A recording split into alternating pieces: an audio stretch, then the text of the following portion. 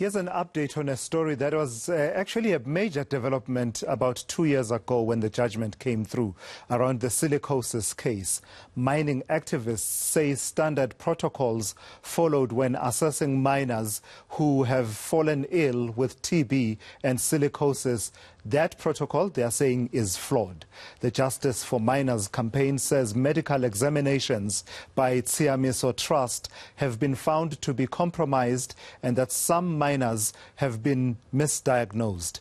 To tell us more, I'm joined now by Bishop Johannes Seoka uh, from the Justice for Miners campaign, uh, Civil Society Forum, and he joins me now for that conversation. So, Bishop, this is obviously a major um, issue and development because uh, that was a protracted litigation leading to that settlement, which uh, is quantified at about 5 billion rand uh, to compensate miners uh, who contracted silicosis and TB.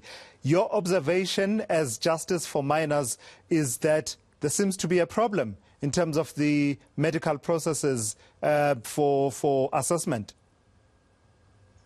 Yes, um, um, we have been very concerned about the work of uh, the Tshiamiso Trust, particularly at medical examination uh, sites.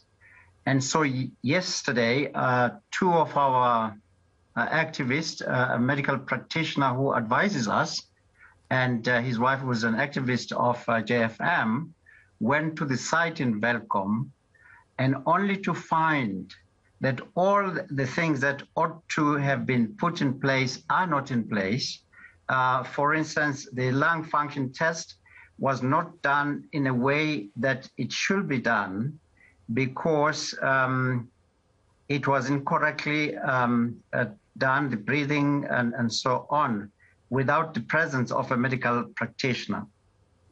Uh, we found that uh, spirometry, which is a breathing um, uh, test function, uh, is of concern because uh, it is done, but without any uh, medical professional being present it's done by a, a, a trained uh, nurse, which is not what it is supposed to, to be. X-rays, uh, we found that uh, the um, um, X-rays were done by the um, practitioner that is supposed to do uh, uh, do them, the radiographer. But of course, uh, the readings were not done by occupational medical practitioner. So he didn't look at the x-ray before the examination leaves the site, which means that diagnosis is likely to be wrong. As a result, the examinee leaves the site um, with half diagnosis of whether he's silicosis or TB um, or lung cancer that is affecting him.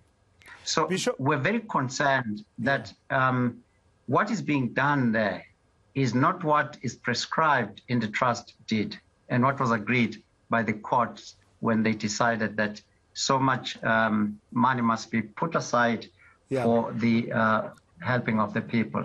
For and instance, Bishop, I, I imagine, sorry, Bishop, if I can come in there, um, my sense is that you obviously are raising these issues, your concerns about the medical procedures that are being undertaken not being up to scratch. I suspect you are raising them because there's a specific point that you want to make. Is the point that uh, there's misdiagnosis, which has implications for whether or not a person is considered to be a, a, a beneficiary uh, in terms of this trust um, because of the you know illness and disease that they contracted while working in the mines? Absolutely. For instance, if I may give you some very um, practical example, um, call him Mr. V, has been compensated by the MO, MBOD for second stage compensatable disease, confirmed by the mines of o, o, um, OMP a private OMP and a specialist physician, but and this man is very sick. He is receiving oxygen continuously, but um, he is um, found not to have been diagnosed properly. Um, he was uh, medically ineligible Tshiamiso Trust has not asked for a second specialist opinion, for instance, and therefore the person will be wrongly compensated.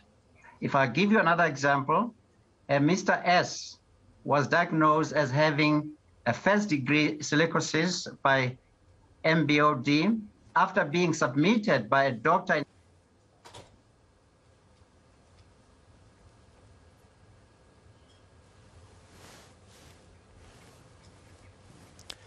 Uh, Bishop Seoka, I suspect you may have um, accidentally muted yourself on your side. I don't know what happened. I lost uh, audio uh, from your side.